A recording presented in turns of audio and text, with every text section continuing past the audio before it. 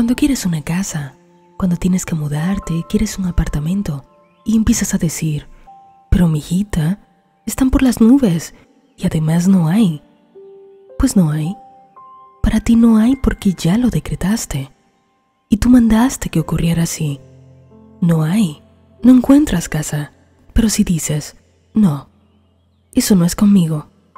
La mía está hecha y me está esperando.